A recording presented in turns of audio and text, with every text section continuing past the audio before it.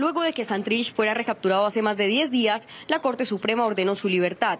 Unos minutos después, varios de sus compañeros del partido FARC llegaron hasta el búnker de la Fiscalía, donde se encuentra privado de la libertad. Nos complace en primera medida porque se le están garantizando los derechos a Jesús Santriz. No solamente la Corte ha reconocido el fuero eh, constitucional que tiene Santriz como congresista, sino también el mismo Consejo de Estado. Así que esta vez esperamos que se materialice y estoy aquí justamente en el búnker de la Fiscalía esperando que se notifique y que den de inmediata libertad tal como lo ordena la Corte y que pueda salir eh, a la, al Congreso a posicionarse, pero también a ponerse a disposición de la Corte Suprema de Justicia. Con arengas sin pancartas, varios seguidores del jefe guerrillero también hicieron presencia a las afueras de la Fiscalía.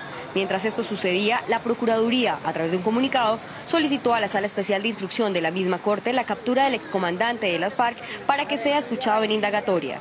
El Ministerio Público formuló la solicitud tras el pronunciamiento de la Sala de Casación Penal del Máximo Tribunal de la Justicia Ordinaria, en el que advirtió que Solarte Hernández goza de fuero constitucional, luego de que el Consejo de Estado ratificara la investidura de Jesús Santrich como representante a la Cámara. Para Jorge Torres, Victoria, conocido como Pablo Catatumbo, lo que dijo la Procuraduría no debería intervenir en el proceso de libertad de su compañero.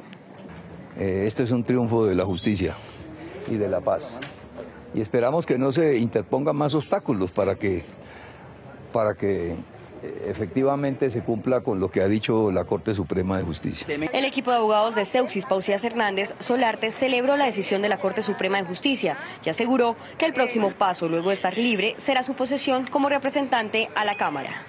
Y frente a esta decisión, el presidente Iván Duque se pronunció. Pero yo quiero ser claro y enfático. Los mafiosos tienen que estar en la cárcel y tienen que recibir una sanción ejemplar por parte de la sociedad colombiana.